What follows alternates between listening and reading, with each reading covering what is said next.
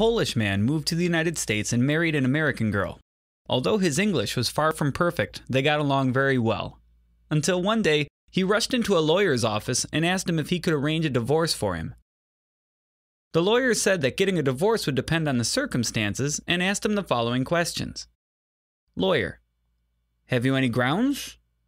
Man, yes, an acre and a half and a nice little home. No, I mean, what is the foundation of this case? It's made of concrete. I don't think you understand. Does either of you have a real grudge? No, we have a carport.